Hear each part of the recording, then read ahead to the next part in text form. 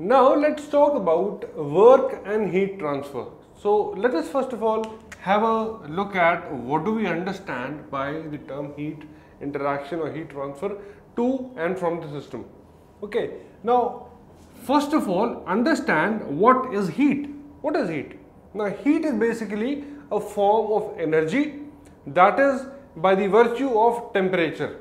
Okay, so you can say that heat is in a way function of temperature, isn't it? Higher the temperature, more will be the heat into the uh, of the system and less the temperature, less would be the heat content of the system.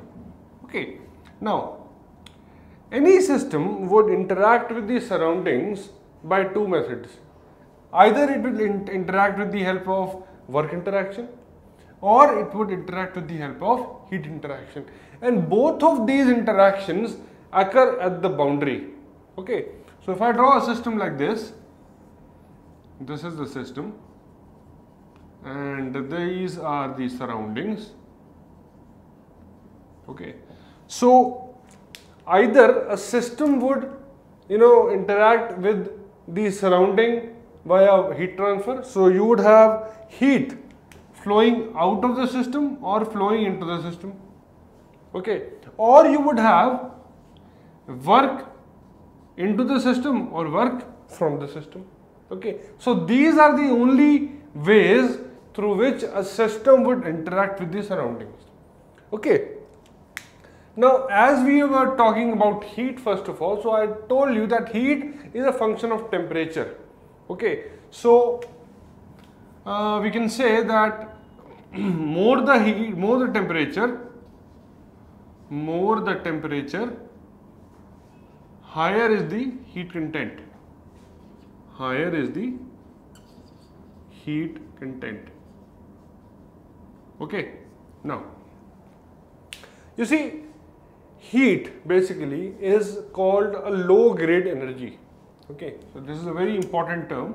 Low grade energy. Now, what do we understand by this? This grade basically determines the convertibility of heat into work or work into heat. Okay, so uh, we are saying that heat is a low grade energy. This means the complete conversion of heat into work is not possible. We cannot convert 100% of heat into work. For example, if you supply let us say 100 joule of heat to the system, you can never get 100 joule of work from the system. This is never possible. You would be getting somewhere about, depending upon how your efficient the system is, you would be getting somewhere near, let us say, uh, 75 joules. Okay, this means 25 joules of heat is lost. So the complete conversion is never possible. So that is why we say that heat is a low grade energy because the 100% conversion of heat into an equal amount of work is never possible. Okay, this means that whatever heat you supply, you would have less than or equal to amount of work. Okay, I would say less than. So this is always more, this is always less. Now to make it equal to Q, you would have to add something over here and that is delta U. So this becomes equal to. Okay. So this is a term which we call internal energy. And you can note down this expression because this is something we'll discuss in the forthcoming videos. We'll not discuss this right now. Okay. So to make it equal to Q, you add delta U over here and delta U is your change in internal energy. Okay. Now internal energy is the energy which is stored in the system and this is due to the virtue of the molecular motion, the chemical energy, okay, the potential energy of the molecules. So all those energies they amount to internal energy. So this is denoted as U which is also a function of temperature. So higher the temperature, higher would be your internal energy. Okay. So this is one concept you should understand.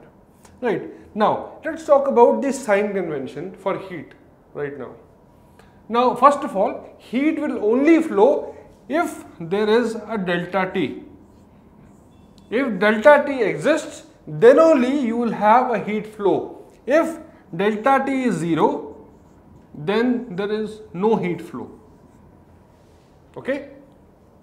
So, let us say we have some delta T occurring between system and surroundings. So, let us say system and surroundings are at two different temperatures. So, when you have heat flowing from the system into the surroundings, okay, that is uh, heat from the system to the surrounding. So, the heat from the system is taken to be negative and heat to the system is taken to be positive. Okay, why so? Now see, to remember this, consider the system as your servant. Okay. Now, you can put heat input or heat interaction analogous to anger. Okay. You get angry at your servant. So, if your servant, okay, so first of all, let me talk about system. If your system is throwing heat to the surroundings, so surroundings is you, you are the surroundings, okay. So, if your system is throwing heat into the surroundings, that is, if the servant is throwing anger at you, then you will not be happy. So, that is negative. But if the surrounding is throwing heat to the system or you are getting angry at your servant, then you would be happy. So, that is positive. So, heat from the system is negative, heat into the system is always positive. Okay, so remember this sign convention for the heat transfer. Okay, now let's come to the work transfer. Now as we discussed that a system only interacts, you know, interacts with the surroundings via two ways. If it is not heat at the boundary, it has to be work. Okay, so work is the second mode of interaction of a system with the surroundings. Now as we discussed that heat is a low grade energy which flows from one body to the other body due to a temperature difference. It only flows till the time temperature uh, difference becomes zero. Alright, now work. Work transfer, uh, you know, basically happens at the boundary in the uh, shape of some shaft work. You have some displacement work. Okay you have some flow work. So all these different types of work, they happen across the boundary either to the system or from the system. Okay. Now, as the grade of energy was low for heat, you have 100% conversion of work into heat. This means work is a high grade energy. Okay. So work is a high grade energy because whatever work you supply you get equal amount of heat generation okay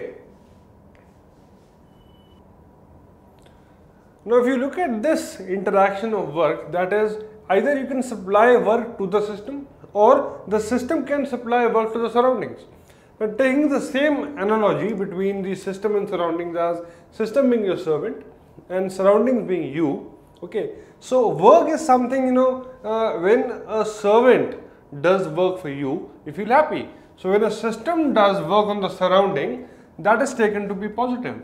So work output from a system is always taken to be positive, okay. But when you have to do work for your servant, then you feel unhappy. So the work input to the system is always taken to be negative. So these two sign conventions for heat interaction and work interaction are very very important.